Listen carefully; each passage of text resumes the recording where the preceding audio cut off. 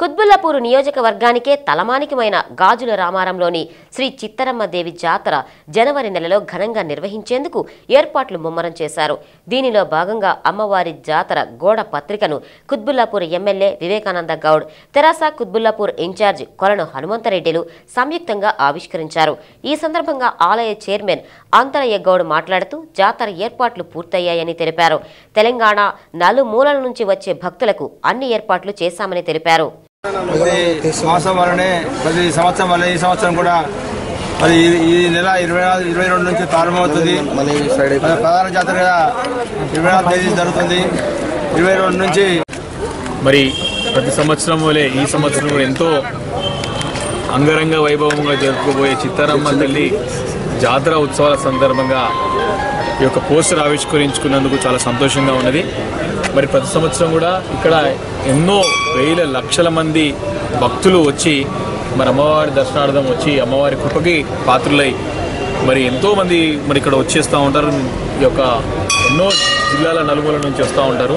ఇక్కడ భక్తులకు ఇలాంటి అసౌకర్యం కలగకుండా ప్రతి సంవత్సరం కూడా ఇక్కడ ఆలయ కమిటీ వారు మరి చైర్మన్గా ఉన్నటువంటి కొన్ని అంతయ్యగౌడ గారి యొక్క ఆధ్వర్యంలో వారి బృందం అందరూ కూడా సభ్యులందరూ కూడా మరి ఒక తాటిపై నుండి మరి ఇక్కడ గా గాలురామారం గ్రామంలో కులాలకి అతీతంగా రాజకీయ పార్టీలకు అతీతంగా మరి పనిచేసుకుంటూ వస్తూ ఉన్నారు. ఆలయాన్ని ఎంతో అభివృద్ధి చేసినారు.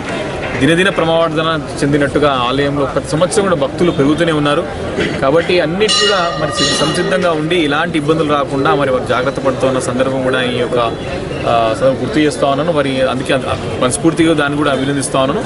ఇప్పుడు జరగబోయే ఉత్సవాల్లో కూడా ఇలాంటి ఇబ్బందులు కలగకుండా ఖచ్చితంగా బాధ్యత గల శాసనసభ్యుడిగా నా బాధ్యత నిర్వర్తిస్తాను. ఖచ్చితంగా అధికారులు అందరూ కూడా గత సంవత్సరము ఇంతకుముందు కూడా ఏ రకంగానైతే పరంపరంగా వస్తూ ఉందో అందరూ కూడా సమన్వయపరిచి మరి జిహెచ్ఎంసీ కానివ్వండి ఎలక్ట్రిసిటీ కానివ్వండి వాటర్ వర్క్స్ కానివ్వండి ఆర్టీసీ కానివ్వండి హెల్త్ కానివ్వండి అన్ని శాఖల వారిని కూడా సమన్వయపరిచి ఎలాంటి ఇబ్బందులు కలగకుండా చర్యలు చేపడతామని చెప్పేసి కూడా మనం చేసుకుంటూ మరి పెద్ద ఎత్తున భక్తులు తమ మొక్కులు తీసుకోవడానికి ఇక్కడ వస్తారు కాబట్టి అమ్మవారు ఆశీర్వాదం అనుగ్రహం అందరికీ ఉండాలని చెప్పేసి కూడా ప్రార్థిస్తూ ముఖ్యంగా మనందరూ కూడా ప్రధానమైనటువంటి సమస్య ఈరోజు తెలంగాణ రాష్ట్ర వ్యాప్తంగా కూడా వర్షాలు వర్షాభావ పరిస్థితి మూలాన మరి రైతుల ఆత్మహత్యలు కూడా పెరిగిపోతూ ఉన్నాయి. భూగర్భ జలాలు మరి కిందికి వెళ్ళిపోతూ ఉన్నాయి నెట్ ఎండిపోతూ ఉన్నాయి. కాబట్టి వర్షాలు కూడా బాగా కురవాలని చెప్పేసి అమ్మవారిని ఈ సంవత్సరం మనస్ఫూర్తిగా మనందరం కూడా ప్రార్థించాల్సిన అవసరం ఎంత దాన్ని ప్రార్థిద్దామని చెప్పేసి మనవి చేసుకుంటూ